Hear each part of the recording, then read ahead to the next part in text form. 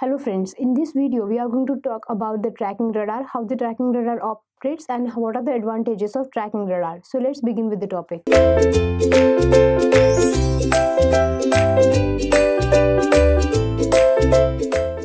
In this video tutorial we are going to talk about the following points and the points are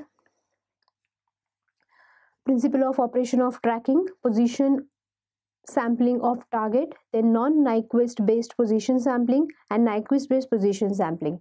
Radar is basically used for detecting and locating the position of the object.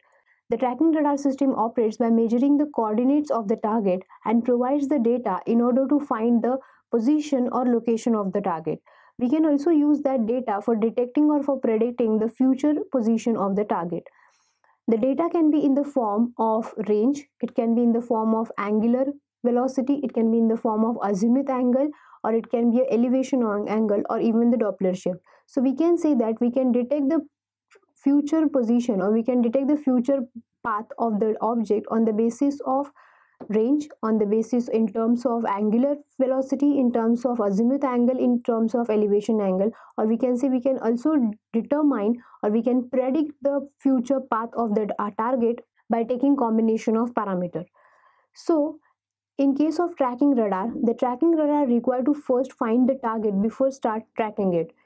Therefore, in some of the radar, it first uses a search mode and after finding the target, it start switching into the tracking mode. In case of tracking mode radar, the tracking takes place continuously. Therefore, we can also say the tracking radar are also called as continuous tracking radar or continuous mode radar.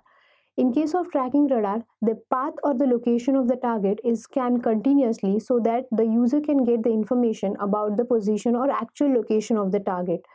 Now, let's move to the figure so that we can have a basic idea or clear concept about the tracking radar. Now here, in order to track the target, it is very much important that the target must be tracked at the Nyquist position sampling. Now from the figure, we'll come to know that the circle represents the Nyquist position sampling and the other term represents the non-Nyquist position sampling. So if we sample the signal at the Nyquist rate, then we can have a continuous tracking of the object. And if we have the non-Nyquist position sampling, then we do not have the continuous tracking of the target. So in this way, the tracking radar operates. The tracking radar provides information or it tag or it tracks one or more than one target irrespective of what other content present in the space. So in this way the tracking radar operates. So in case of tracking radar first we require to find the target and then after finding out the target the radar enters into the switching or tracking mode. Now let's move on to the MCQs.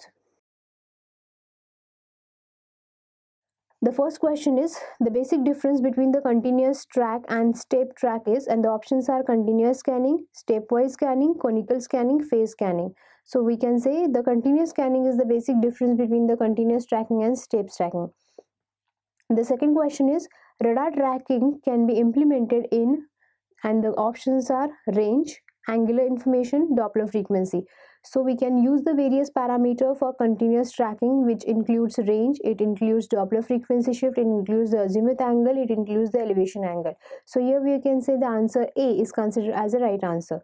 So this is what about the introduction to tracking radar which used to measure the coordinates of the target so that we can determine the tracking path of the target and we can use the same information in order to detect or in order to predict the future path of the target. So I hope you understand this topic of introduction to tracking radar. So thank you very much for watching this video. Stay tuned to Ekeeda, subscribe Ekeeda.